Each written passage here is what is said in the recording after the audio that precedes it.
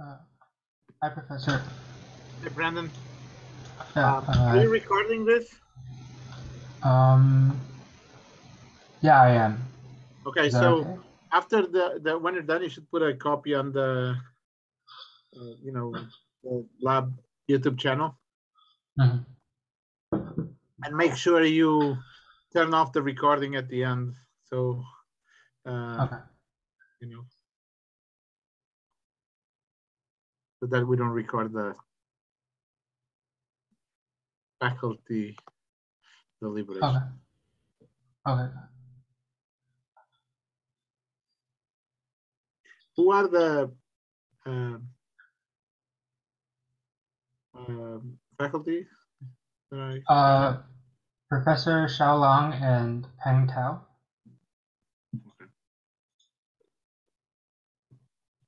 No, I thought you were gonna have like Nikolai or something like that. Um, I'm more familiar with those two faculty, so Okay. yeah, and he seems really busy, so yeah. That's fine. Okay.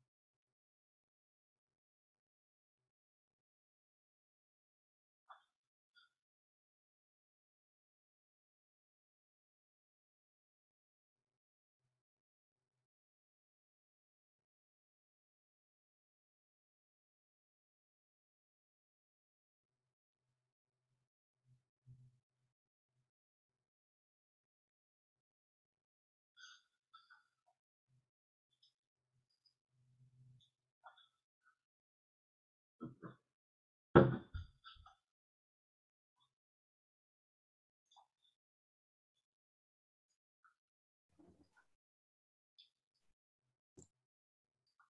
hi, Professor Xiaolong. I think uh, we're just waiting for uh, Professor Peng Tao, and then we can. many people.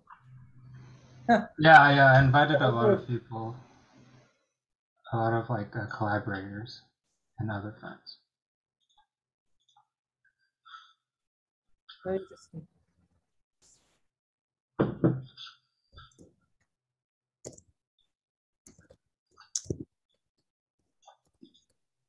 Hi, Shalom. Hi. I guess we're waiting for Peng Tao. Oh, No. there. Uh, yeah, I think he's here. Okay. Okay, uh, so I'm gonna share my screen. Give a sec.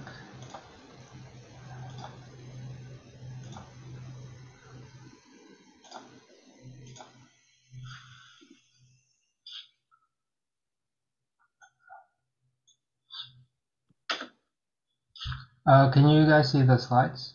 hmm Okay. Yep.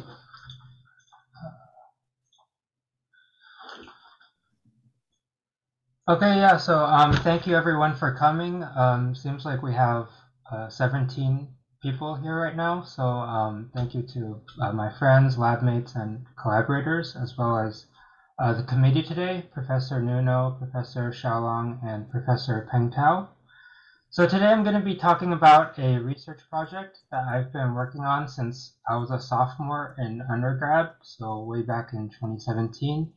So it's a project that I've been working on for quite a while. Um, the title is Understanding Learned Visual Invariances Through Hierarchical Dataset Design and Collection.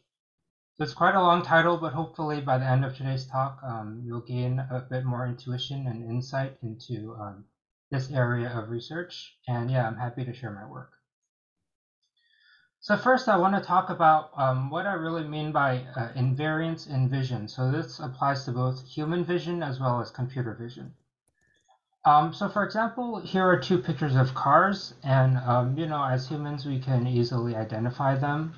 Um, but in addition, we can also sort of generalize um, the visual, uh, generalize the notion of a car to different visual appearances, while still keeping the core semantic concepts of what a car is. So for example, um, with a car in different um, settings, so for example at night, in the rain or in the snow, um, we still understand what the visual essence of a car is. And um, this can actually be generalized even further. For example, you can have like an exotic car like flipped upside down. You can have sketches of a car. You can have a car like submerged underwater. Like in all these cases, um, if you show even a child like a picture of a car, they can probably generalize and understand that these all depict cars in different forms.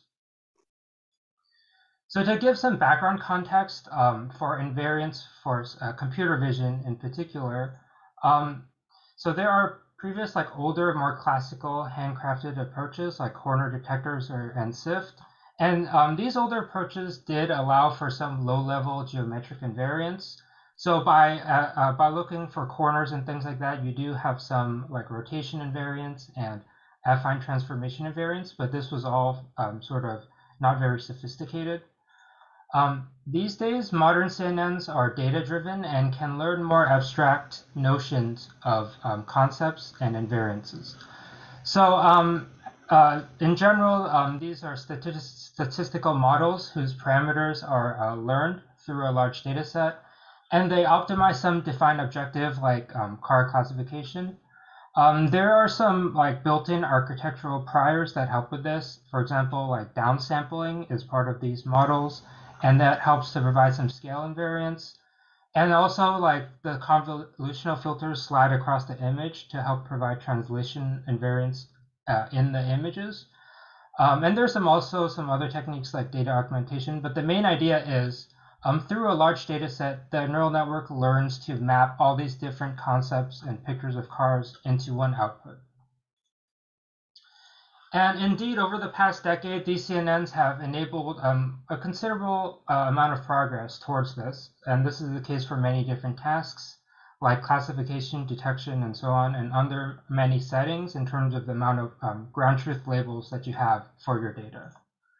And this is also attributed to some other factors like uh, better hardware and um, bigger data sets that are scraped online. So for example, um, for prominent uh, like data set that's scripted online called ImageNet. Um, in 2011, like handcrafted approaches got around like 50% accuracy, but in the past decade, decade CNNs have led to like almost 90% accuracy on this once um, thought to be like a pretty challenging data set. So um, this progress has led to some like news outlets to say that like machine vision vision is on track to surpass human sight. And um, you know, the question is, why don't we have self-driving cars yet, if that's the case? And um, so, like, so what's going on here? Is it just all hype? Um, like, what's really going on in the research? So, just as an example, I actually took those car images that I showed you earlier, and I actually fed them um, to a pre-trained EfficientNet, which is one of like the state-of-the-art approaches now. And for those um, like basic car examples, it did predict it um, correctly. For example, it predicted that this was a station wagon car. Um, but for these more challenging examples of cars in different um, scenarios, like um, like in the dark or in the rain, um, it sort of uh, predicted that this was a traffic light, even though there's no traffic light in this picture. And um, and the same is for these uh, more challenging examples, like it thought that there was a submarine in this image, uh, I thought that the Cybertruck was a golf cart and so on. So, um, so clearly 90% accuracy on ImageNet doesn't mean that like computer vision uh, classification is a solved problem. And in particular, the significant challenges come from the fact that, yes, it's true that if you do have all the data um, and your testing distribution is the same as your training data distribution, then yeah, you might be fine. But um, in real world cases, this is um, not what happens, and CNNs actually have a difficulty to generalize across these domains. So what I mean is, it's easy to scrape images like this um, online and get even like millions of images like this of cars.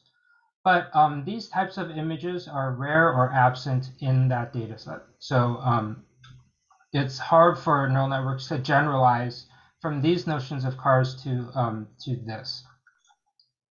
Additionally, there is something called adversarial attacks, which is basically um, there are ways to like uh, engineer certain noise patterns where when you add it to the image, it causes the image to be classified incorrectly.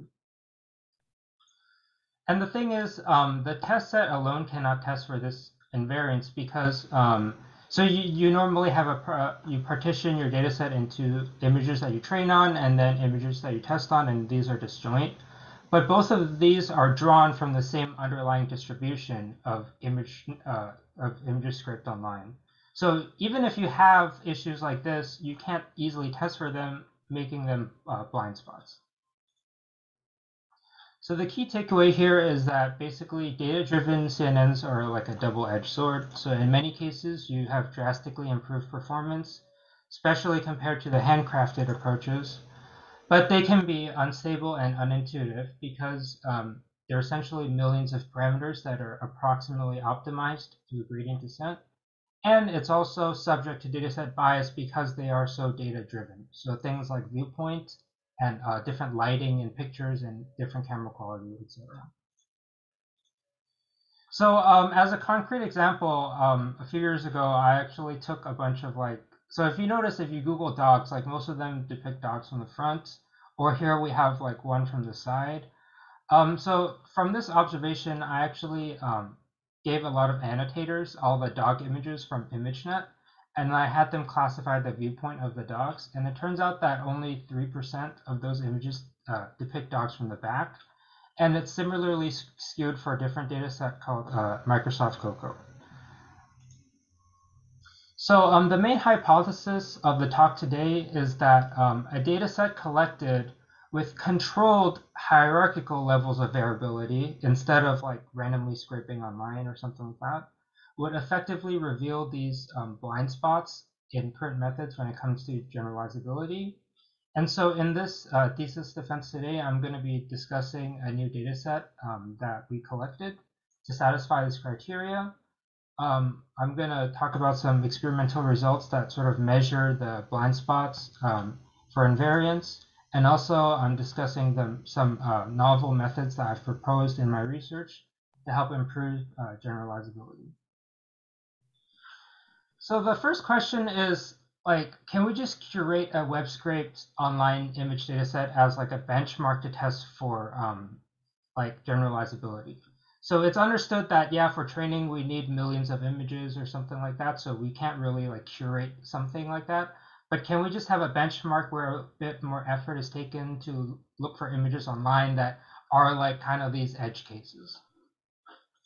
And you might end up with something like this. So this is for trains, but you might end up with like photos of trains in the real world, uh, different like clip art versions of trains, toy trains, and things like that. And then you can use this as a smaller like test set benchmark to test if um, your neural network can generalize to like clip art representations of trains um, and uh, things like that. So the advantage here is that this is simple and cost effective. Um, you just need to look for images online and you can get a, a rather diverse set of images. Unfortunately, here, um, individual objects are scattered and seen inconsistently. So for example, um, this red train here, there's no other represent representation of that red train in this whole data set. So you don't have any other viewpoints of this red train, nor do you have like representations of a clip art version of that uh, red train itself or like a toy model of it, most likely. So that leads to some um, measurement ambiguity. It's also subject to uneven viewpoint coverage. Um, so like I said, you there it's hard to find another image of this exact red train in a different uh, viewpoint, like from the side, for example. Um, it's also only in 2D, so you only have 2D images. And you may also have some within domain inconsistency or variance. So for example, for toy trains, some Pictures might have backgrounds, some might have blank backgrounds, you might have different lighting conditions within a single domain or a category here. Um, so that leads to difficulty in measuring these things rigorously. So the question is, um, if we can't do web scraped online, like data curation, uh, if we have these issues, can we do real world data collection? Can we have uh, individual objects that are seen throughout all these different categories or domains? Uh, can we have even viewpoint coverage? Can we maybe even get some 3D information? And can we make um, the domains themselves be more consistent and have less variance? Um, so as you imagine, that's sort of exactly what uh, was done, and the dataset is called the 3D Object Domain Dataset Suite, or 3D ODDS.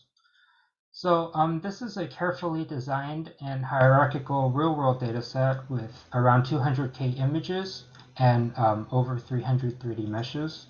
And there are three disentangled variation factors. So there's um, domain viewpoint and class. So in this case, for this data set, uh, one domain is we imaged a lot of different objects in like a turntable setting. And then we also imaged those same objects using a drone. And finally, we took those images outdoors and um, to different indoor locations around the UC San Diego campus. And we took pictures of them with smartphones. So in all these cases, we have multi-view images. And we also did this for objects of um, many different classes. So things like um, trains, uh, boats, airplanes, and clocks, and so on. So even with this size, um, like modern methods require like millions of images. So so it's due to the size, um, it's more ideal as a benchmark or testing framework, or it can be used for settings where you have um, a fewer amount of data like few-shot learning. And this is an example of one object from this data set. So as you can see, this is the um, category or domain for um, the images taken with a drone. Um, we took the same train outdoors and took images of them outdoors. And uh, these are images of the train that we took um, using the turntable setup. And then uh, we, we also reconstructed a mesh version of this train. So here are some additional examples. These are four different um, airplanes from the dataset. And um, we also have other classes, so things like telephones, uh, hats, uh, mice, and um, trains. And all these classes were designed to have overlap, so they're also seen in other prominent datasets like ImageNet and ShapeNet. So um, now I'm going to go into a bit more detail about these three domains. So first is um, O turntable. So this is collected in the lab using a turntable and DSLR camera setup. So um, we use the blank background and professional grade lighting to take pictures of these objects in the turntable, and we collected a lot of different images. And then we use these images to reconstruct a 3D mesh using um, standard structure, uh, structure from motion software. So next, um, the other domain is OWL. So this stands for um, objects obtained with flight. Um, and in this case, we used a automated flying drone. So um, I helped develop a scalable and easily re reproducible drone flight algorithm that uses um, like some classical machine vision techniques and like PID flight controls. Uh, here it follows like a pattern on the floor and tries to like um, circle around the object in the middle by itself. And um, as you can see, it has a green screen background and because it's using a drone, there are some special unique characteristics of the images obtained from this data. So first, um, it uses the drone onboard camera, so it's kind of uh, like lower quality. And there's also some um, camera jitter and motion blur due to the drone flight. Um, so for example, here each row is um, one viewpoint of this uh, object, uh, but there are different images taken as the drone hovers at that uh, one viewpoint. So I've enlarged some images here, but we can see that um, even though it's at the same viewpoint, there are some slight variations due to the drone flight as it hovers and takes those images. And finally, um, the OWild domain is we took these objects out in the wild and imaged them. So these were collected around the uh, UC San Diego campus using smartphones, and we uh, placed them in diverse indoor and outdoor scenes. So for example, this is a backpack that we took to a lecture hall. This is um, Center Hall, actually. And um, by diverse, I really do mean like diverse. So like, for example, this is a uh, boat that we placed in Price Center next to Burger King. Um, I thought it would be funny to put a CRT monitor on like the in the bathroom. So yeah, this is a monitor in a bathroom, and this is a toaster uh, in grass. so like this really does, you know, test the uh, generalizability of um, neural network models. And finally, um, I thought I'd just give some uh, insight into what happens behind the scenes when you sort of uh, try to do real world dataset collection at this scale with like hundreds of different objects. Um, so yeah, the, these are uh, some of the objects. We had objects just flying around everywhere in the lab. Um, we had buckets of like, so this is like a bucket of like 30 different shoes, 30 different bottles, like books, things like that. A lot of these objects we obtained from Amazon. So like on any given day, we would have like a shipment of like 20 toasters from Amazon or like, you know, you know, just random stuff from Amazon. And also a lot of the, these things were obtained from um, thrift stores and swap meets. Um, during development, we used like 15 drones because like in the beginning, like drones would crash a lot. Thankfully, um, these drones are relatively affordable. They're like $90 each, but you have to thank Professor Nuno for funding um, these drones. And um, so this is the drone flight space. So there's actually some engineering that went behind this.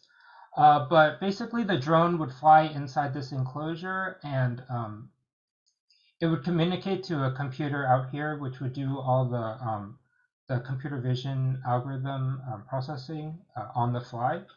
And we also made an enclosure here so that this is actually the lab office. So we made an enclosure so that the drone wouldn't like fly out and like hit random people. So yeah, there was some engineering for the drone flight space itself. And and that also entailed like about a hundred pounds of like bricks that were used to like assemble this thing. So um so yeah, that's sort of the part of the talk that I wanted to give about the data set collection and curation. And now I'm going to talk more about And how. maybe um, maybe a few questions. Okay. Um, wait, so do you still have the breaks? Actually, might need to use some of the breaks. Um, I Yeah, just got some from the Home Depot, but yeah, maybe later I can borrow some breaks for from you. Um, yeah. So I'm just wondering, is there any like following up work on this thing? Like, um, um, you collected these data sets, um, and then are, are there any following up work uh, using this data currently? Um, just Yeah, yeah. So yeah, I, I'm actually going to get into some research and experimental results that um, use this data set. I see. Uh, I yeah. see. And then like um, for the outdoor data sets, how many examples did you get to collect actually? Um, Um, so it's like around 450 uh, objects, and so multiply that times eight, because for each object we had eight different viewpoints. right, right. So uh, you're collecting with foam, right? Yeah. Uh, did you get uh, RGBD or just RGB at that time? Uh, so we, we have 3D information from the CAD models, but we just use phones, so there's no depth. I see. But right, but just by the way, right now iPhone can take RGBD. Uh, Like- Yeah, but that's like the most high-end iPhone, right, so uh, like, maybe yeah, up yeah. to 12, some, but 12 something. Well, I don't we, we still have all the objects. Yeah, yeah, we could still add to the data set as We, well. we, Right. we have all these objects, so we can do whatever we want to add Right. to the data set. The I so I also recently collect some data just for the 6D po- pose estimation kind of things. Uh, we, we kind of collaborate some some like Alibaba, this company, to get their objects and then ask them to just use the phone to take around, walk around the objects, take some videos. Um, I think we get around maybe 6,000 videos ish in total. Um, yeah. Um, but but just uh, it's also RGBD. So I think if if you can continue doing this now, we can actually buy better phone and then have the depth as well. So it can be quite useful. Yeah, I mean, you know, one of the one of the reasons why we went into this, it's like, okay, you know, we have the objects and we keep sort of as modern new tasks or whatever Mhm. appear, then you know uh, we can build on the sort of it's like a physical data set. Right. Yeah. So it's like you know we can we can uh, put the objects in rooms and and the, the you know do look for I don't know uh, yes. understanding tasks. We can I mean you know it's like there's there's um I mean actually the problem is like actually to store all these objects. So I have the department on my back uh, because like always asking me to move things around. And, uh, but uh, but uh, but it's uh, but I think it's a useful resource and certainly you know it can be you know Mhm. used to um, you know uh, create other data sets Right, right. or or ex- and, and also because you know these already i mean there's already like this data on like for each object there's already like this all these data so now there's you know you, uh, you know if one can do other things and then like combine all the data sets together Mhm, mhm. Okay, sounds good. Yeah, you can go on. Okay.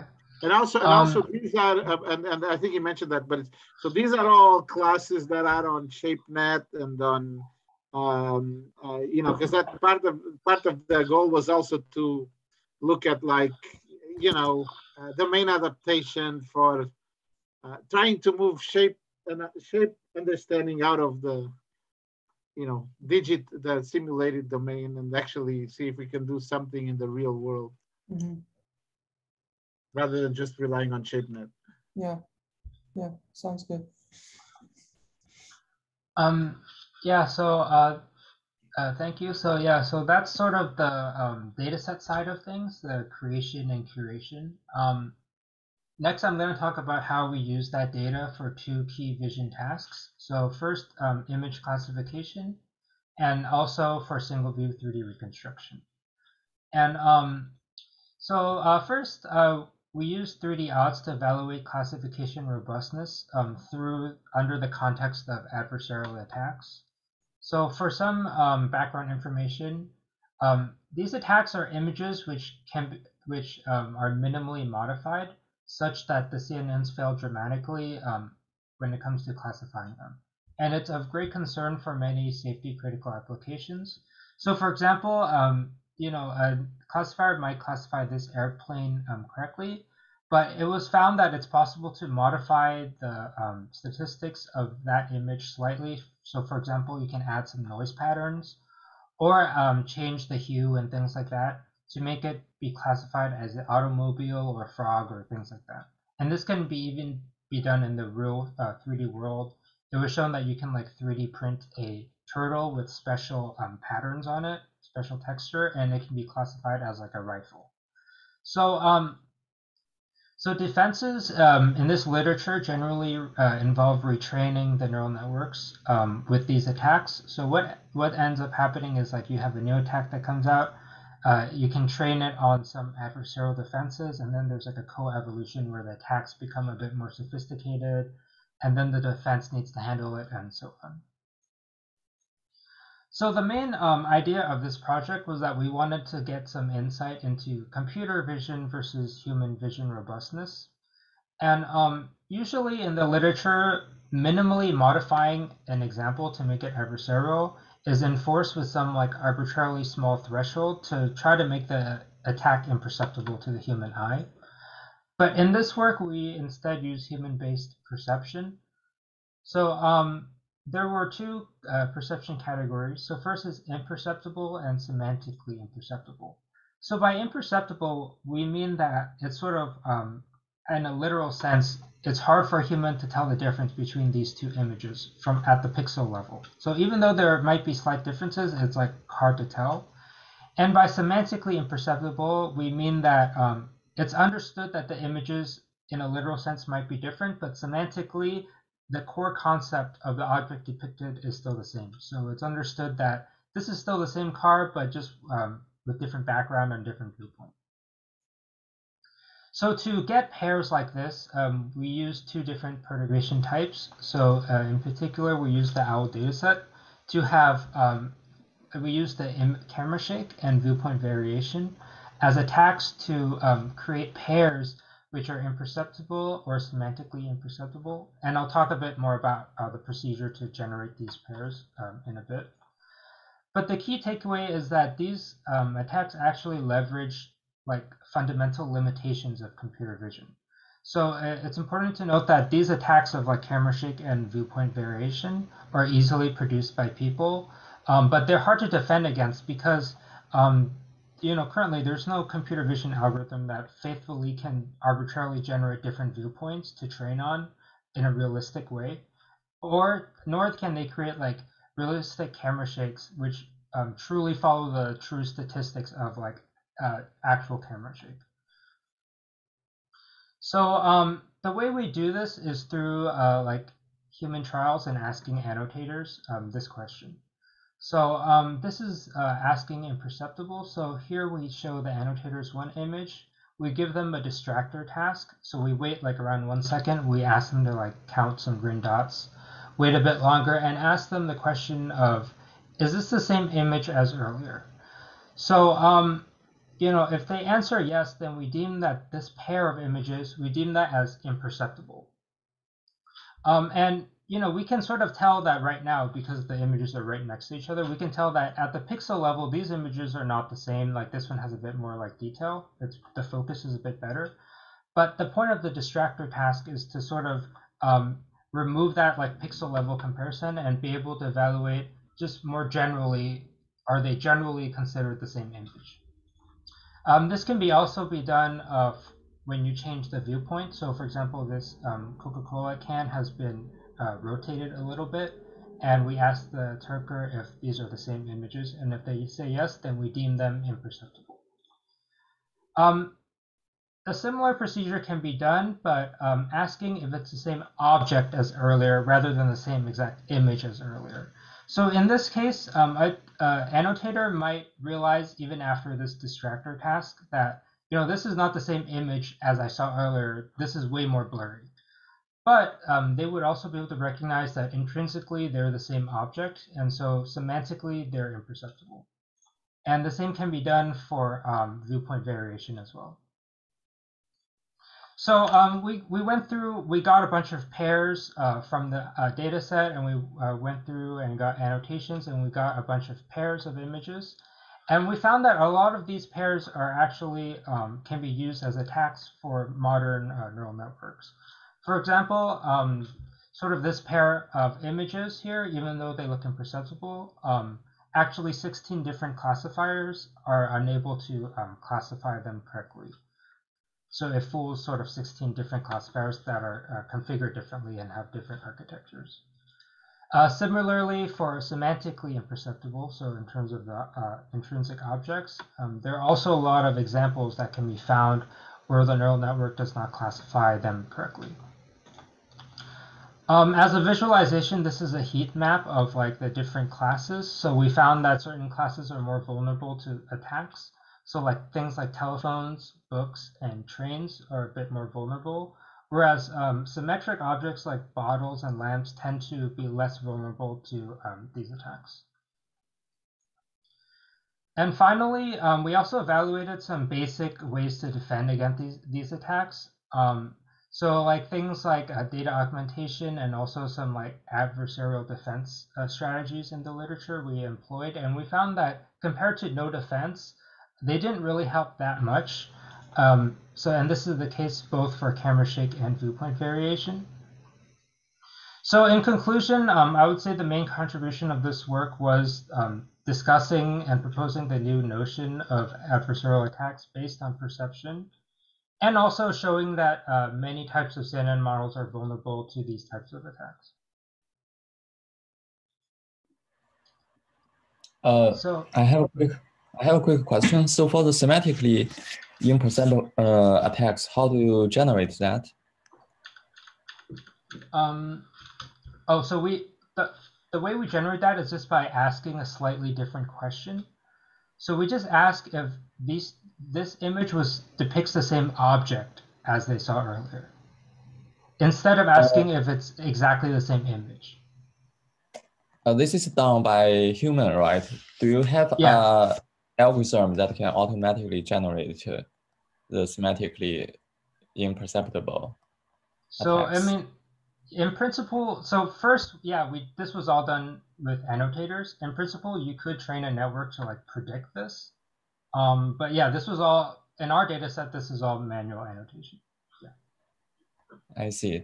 So if you have these labeled pairs, maybe you can train a conditional GAN or something to automatically generate these things in future? Um, yeah, we can certainly do that. Um, the only addition I would say is that it's hard to guarantee that the, the you know the performance of GANs would be the same as like you know genuine data. But yeah, that's something that could be tried. Uh, yeah, certainly GANs may not be able to generate uh, realistic uh, attacks like this, but uh, suppose in a real scenario, it's unlikely that you are going to uh, to hire humans to generate attacks, right, all the time. Um, eventually, it is expected to have some automated algorithms to do this. I mean, you know, um, I I would say that it's actually um, the, the, the, the one of the points here is that these attacks, you don't need to be a machine learning person even. Uh, so anybody can generate an attack like this. You know, a two-year-old can generate an attack like this. All you have to do is to rotate the object uh, or, um, you know, shake it right so so so the point here was you know we we spent a lot of time worrying about like you know the, the robustness of these neural networks to these adversarial attacks and so forth but those are not the ones that actually are going to happen in the real world these are like natural attacks uh, mm. you know the neural networks are going to be under these attacks all the time uh, mm. uh, and and, yeah. and and and so the, the I mean, uh, uh, part of the, the the idea here was to compare I mean, people are subject to these attacks too, but they can deal with them. Mm. Uh, and not not all, by the way. I mean, there were like uh, there are cases where the same object. Um, um, maybe Brandon can talk a little bit about that. But there's like cases after a while you can't recognize. I mean, you, there's two pictures of the same object, and you can't say it's the same object. Uh, there mm. are like lots of examples like that in the data set. But it's you know the robustness is you know, incomparably larger. Can you say anything about that, Brandon? Um, so, so do you mean two images being the same or? Yeah, like examples of images that are not, you know, that fail the semantically imperceptible test. So two images of the oh. same object, but, uh, you know, people can't realize it's the same object. Yeah, yeah. So I think that has to do with like uh, maybe hu human error mostly. No, but but uh, but you know, but uh, how, how frequent is that? I mean, there's lots of examples in the data set. Where yeah, yeah. yeah, yeah. So it was quite frequent, and I think that might be due to human error sometimes. But yeah, the details are in the paper. But it was frequent to where, you know, tests could be imperceptible but not semantically imperceptible. Yeah, I yeah I agree that this semantically uh, imperceptible imperceptible tests are more uh, interesting. I guess the technical challenge is how to generate these tests automatically. So in the in the currently, currently widely studied uh, adverse, uh, adversarial perturbation attacks, they can automate automatically generate those tests by solving an optimization problem. Then for these semantically ones, uh, it's it seems more challenging to to to generate those things automatically. Yeah, but uh, it is a very uh, very great insight. Mm -hmm. Yeah, I agree.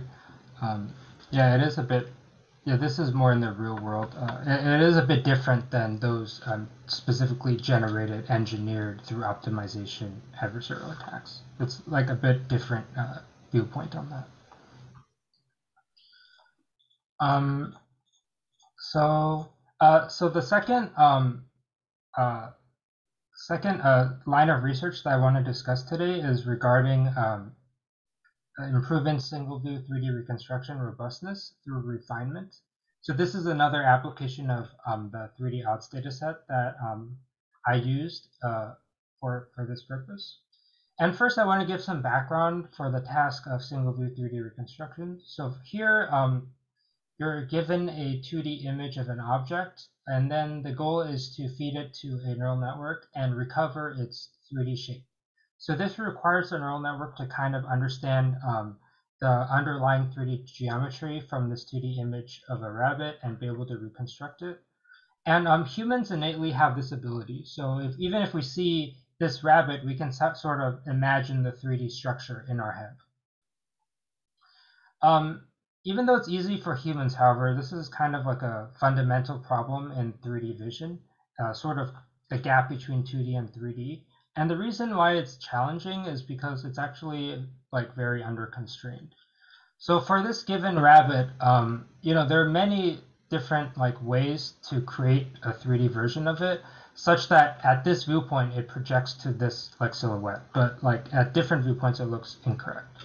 So the goal is, even though it is under constrained, uh, constrained, the goal is to still reconstruct a reasonable 3D shape. And some applications for this in, include uh, robotic grasping. So it's useful to have like the 3D geometry of the object that you want to grasp before doing so. Uh, it can be also be used for like AR and VR interactions or environment mapping for um, navigation in the 3, uh, 3D world.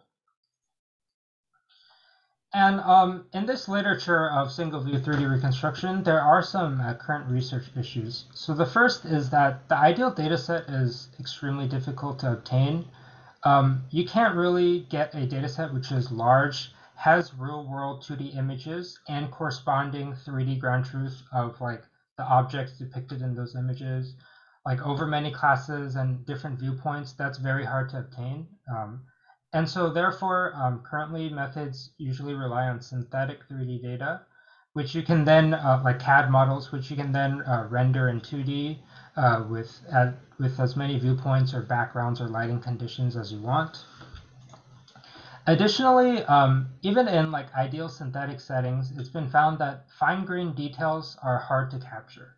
So um, a hypothesis for the reason why is, you know, it's sort of a consequence of training on a large data set and sort of um, converging in local minima that do not generalize well and do not capture like fine-grained details. For example, here, given this uh, image of a bird, um, we can see that the reconstruction uh, for the beak is not is like a bit too narrow, so it's not consistent with the input image. And same with um, sort of the tail part. And um, and this sort of indicates a memorization of like the class mean shape of a bird. So it's sort of just classifying that, oh yeah, I see a bird, and just giving out a, a more average looking shape instead of a genuine geometric understanding that is consistent with the input image. So the idea behind um, uh, this uh, line of research is to reduce the domain gap, uh, even when it's trained on synthetic data, and also be able to recover some of these lost details. Uh, so to do this, um, I proposed a novel uh, mesh refinement post-processing step. So the pipeline is as follows. Um, during deployment, you have some uh, input image, which you feed into some black box um, single view reconstruction uh, network. It'll output some 3D mesh, which is the general shape is there, but a lot of details might be missing. And then, um, and then the proposed uh, refinement step is this optimization here, which tries to recover some of these lost details. And, um, and all this uh, operates at test time. And um, even if this network is trained on synthetic data, the goal is if it's fed real data, um, normally it would lead to a lot of domain gaps and a lot of issues because it's not used to seeing real data. But um, the goal is for the refinement post-processing step to be able to recover a lot of these details um, nonetheless. And the main insight here is that um, given a bit of auxiliary information, can we recover these details and make the reconstructions better? And um, the way ref the refined neural network does this is um, it learns to deform the vertices of the original mesh reconstruction to make it better match the silhouette of the input image.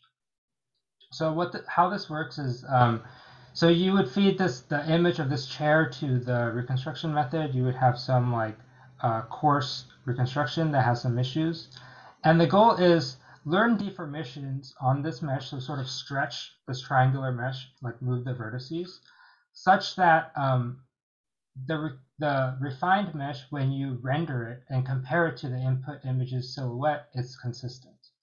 Um, and we actually found that sort of um, naively doing this uh, leads to a lot of degenerate solutions where um, at this viewpoint, it looks fine, like it's consistent, but once you rotate it a little bit, it looks completely off.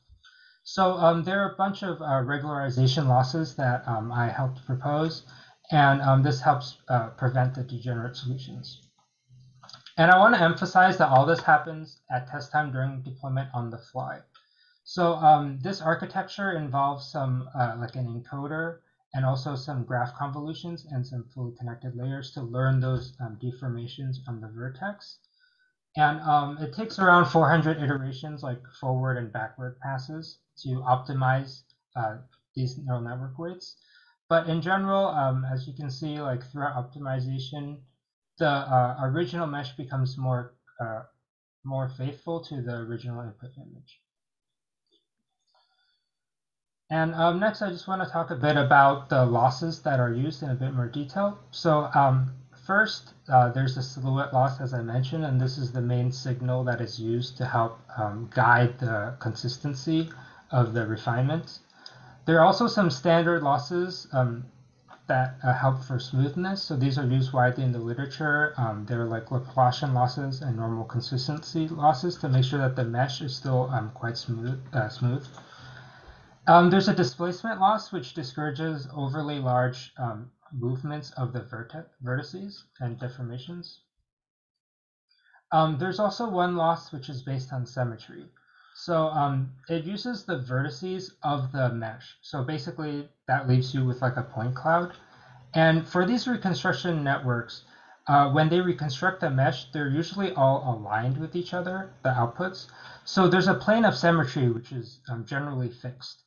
And what that means is that um, for the point cloud of the mesh, you can take vertices here and like flip it across the plane of symmetry and compare it to the nearest neighbor vertex. And the goal is we want to minimize this distance um, to encourage more symmetry. And um, but there's it's also important to note that um, for many images, like it's like not all symmetric. So there might be some degree of asymmetry. So for example, the wing of this plane here so additionally, symmetry confidence weights are learned per vertex, allowing some degree of asymmetry. So at a high level, the loss looks something like this. There's like an average over all the vertices in the point cloud. This is the nearest neighbor distance over all these points. Uh, this is a learned um, a, uh, learned symmetry weight, which weighs this part. And then there's also a penalty here, um, which tries to discourage asymmetry as much as we can. And finally, um, this loss here uh, operates only on the vertices. So we also want symmetry when it comes to the faces of the mesh. So we do this through rendering. Um, so this encourages the render itself to be symmetric. So the way this works is we have one camera angle here. Uh, we render it at one camera angle, and we compare the horizontal flip of this render to the render of the uh, of the camera flipped across the plane, the plane of symmetry. So it, at a high level, basically, um, the only way for these two images to be the same is if the object itself is symmetric about the plane of symmetry. And the loss looks something like this. You average over all the different cameras. It's like pixel-wise. Um, we also use a, um, so since it's pixel-wise, we need uh, the symmetry confidence weights to be per pixel. So this is done by uh, a barycentric interpolation of those vertex weights so that we have like a symmetry texture map over the mesh.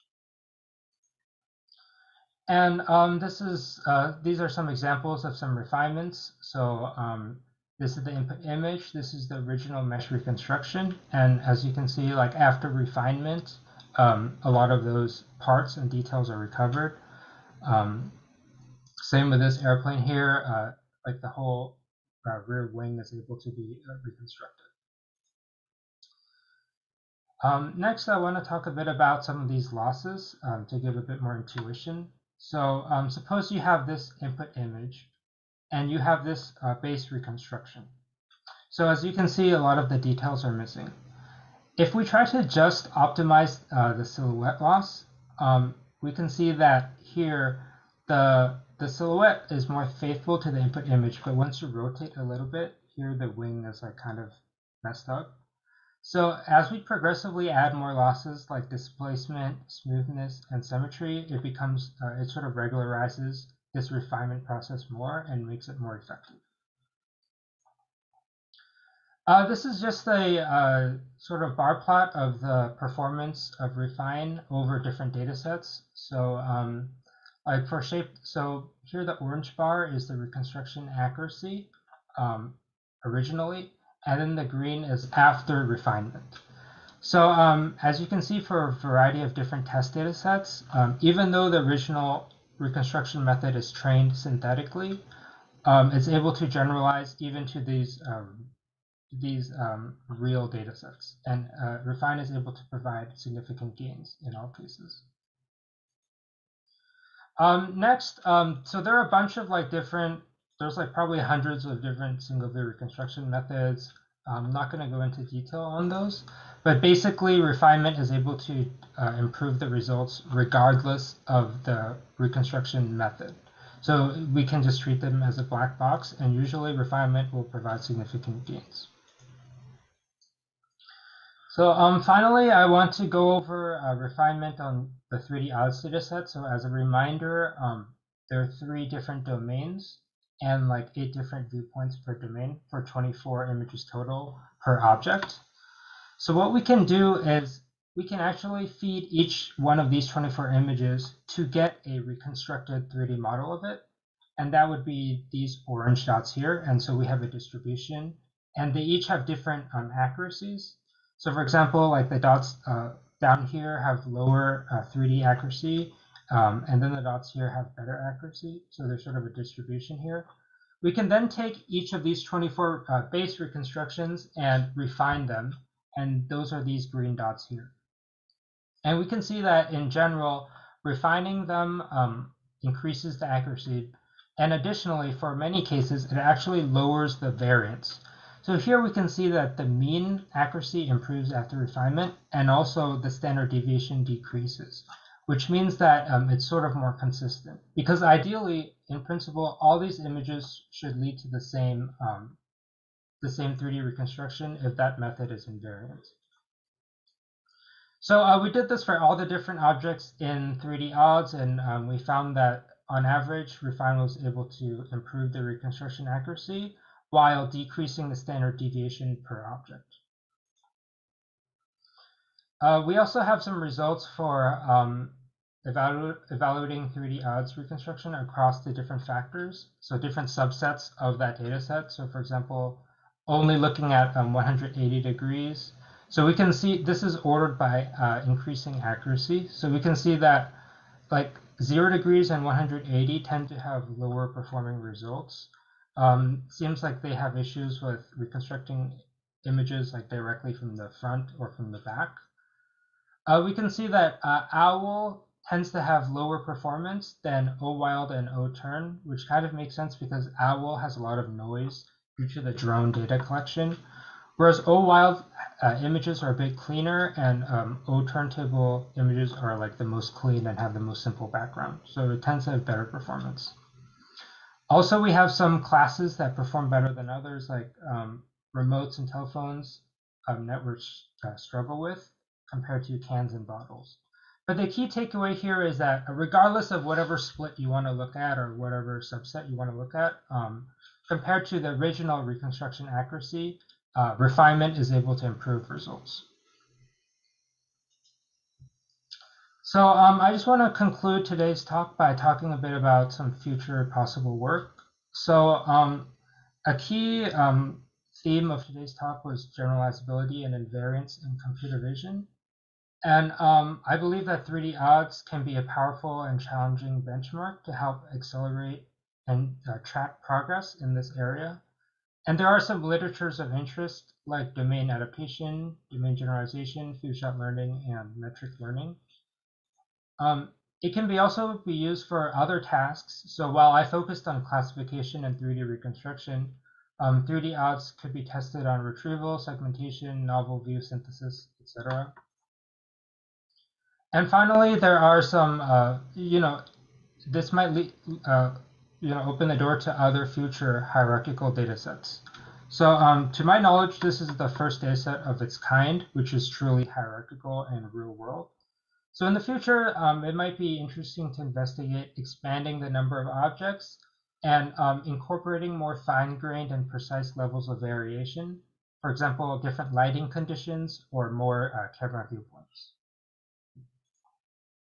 Uh, yeah, so this is just a list of uh, publications that I've been a part of. And um, finally, I just want to note that uh, the 3D ODDS project is the result of uh, years of effort from a lot of different collaborators besides myself. So um, all their uh, names are listed here. And um, many of my teammates are actually here watching right now. So I just want to say thank you for your help. I'm happy to be able to present like all of our combined efforts and like it was an honor to work with everyone and um, yeah the collaboration made the project really fun and enjoyable for me so yeah once again thank you and that concludes my talk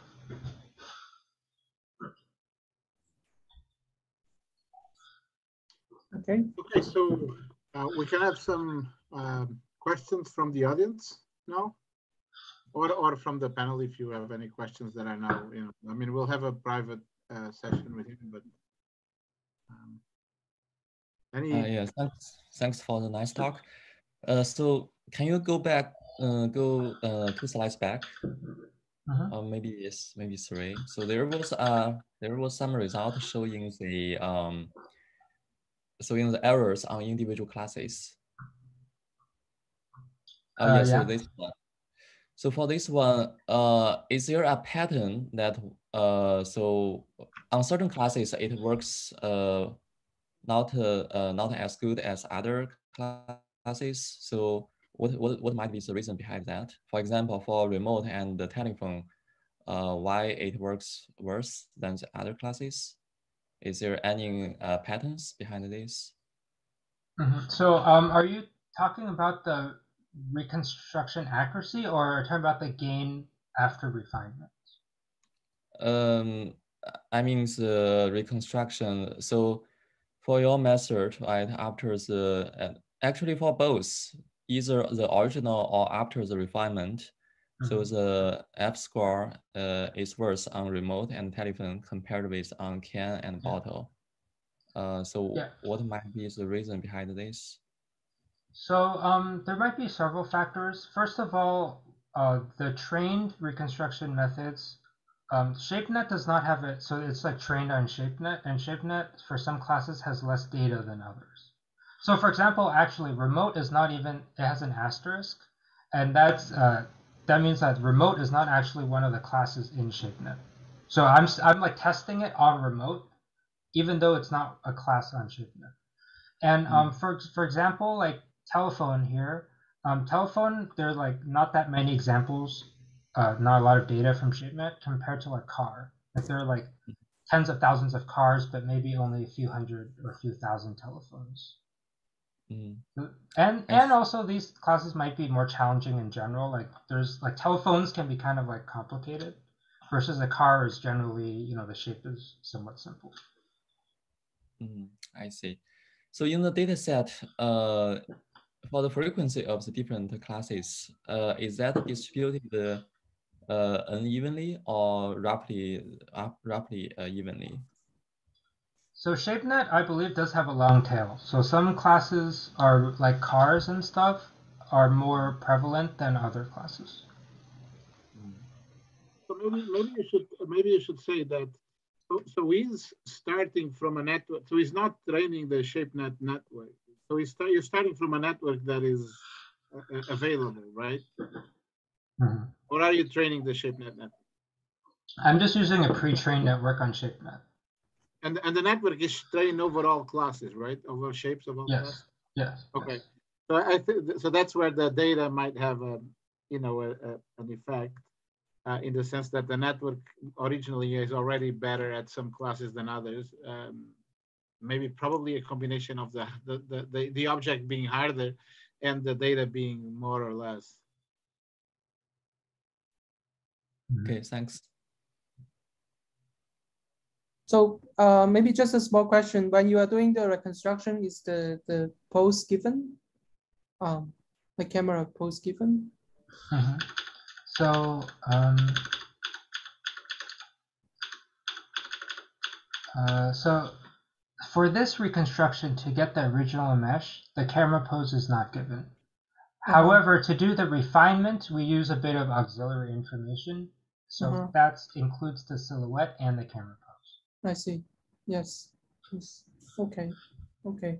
So so for the initial estimation, it's just given the image and then regress like like and then get the shape in the canonical pose, right? Like wherever. Mm-hmm. Okay. Sure. Okay. Got it. Yes. Maybe we should uh, uh, ask the audience if there's no uh, comments from the audience. Maybe then um, um, you know it's time for the committee to because the, the committee is already asking questions. Uh, I just have some very basic. Mm -hmm. It's kind of not questions, but I, I feel like so. I think it's very cool that you're basically proposing the whole thing like using test time training, which means from what I understand, you don't even need to train on any additional data. Mm-hmm. But I, I think you're like the data set is cool enough that maybe you can somehow combine that with the large scale pre-training on synthetic data sets. So basically use your data set as an unbiased kind of validation data to kind of calibrate these large models, which themselves can be biased. So I see. So incorporate some data in this refinement process.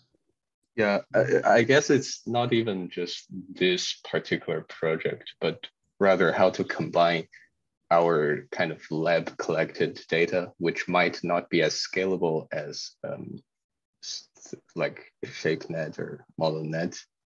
And so combine these kind of curated data with large scale pre-training to with, with the goal of kind of um, debiasing these large scale models. Yeah, I, kind of just a general suggestion. Yeah, I, yeah, that's an interesting point. So yeah, we are only using 3D ODDS as a test test set or benchmark right now.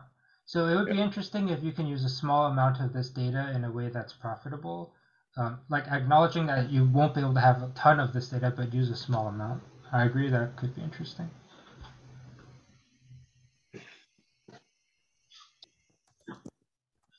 Uh, hi, Brandon. Uh, I just curious that uh, since all results you shows are uh, for only one single object on image, uh, did you try multi-object on image, or is there any work working on that? Uh, reconstruction work. So multiple images or multiple objects? Uh, multiple objects uh, so refining multiple objects jointly? Uh, yes. Um, so refinement itself is a new paradigm that I propose in this paper, so I'm fairly confident that there's no work on that. Uh, uh, but I think. What about for only for the reconstruction? So what would be the inputs? The inputs would be one image. Uh, for example, one one image uh, has uh, like two or three objects. Oh, I see. So reconstructing a scene. Uh, yes. Kind of. Oh, okay. Um, yeah, I think it could be possible to generalize this refinement to scenes um, of objects. You instead of a silhouette, maybe you would have a segmentation map or something like that, and you could generalize it to have multiple uh, objects in the scene and do a refinement. Yeah. Uh, what do you think? What, what uh, do you think? What are the difficulties to like to transfer the, the work on a single object to multiple objects. So, I mean, it would be easy. So one, the most basic approach would be just to treat those multiple objects individually and just, you know, just like refine them individually. Um, I'm trying to think if there's any gain to be doing it jointly. Um, there may be some gains, but yeah, off the top of my head, I, I don't think it would be too difficult to do this to extend it to multiple objects. Okay, okay, thank you. Hi, Brandon. Um, may I ask a quick question? So yeah. just in terms of the figure um, on this slide, So how, since you can only see like uh, one view of the object, so how do you assign these features to all of the vertices? Uh, I see. So um, yeah, so this is an encoder uh, that where you get a feature map, and this is just so basically we project. So um, at a certain viewpoint, there's like a ray, right? And we assign all those vertices in that ray to the same feature. I see. So even for those uh, occluded ones. Yeah, yeah. So that could be an area of improvement. Um, since this is sort of just the preliminary work. Right. Uh, yeah, I just take that uh, sort of more basic approach. I see. Yeah. Thanks for the talk. Mm -hmm. Okay. Any more any more questions from the audience?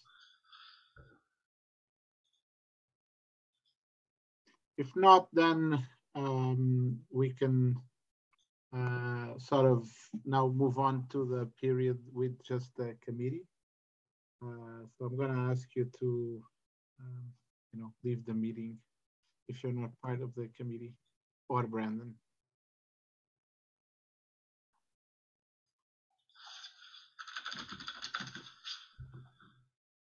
Okay, so Brandon, maybe you should stop recording now. Okay. Um,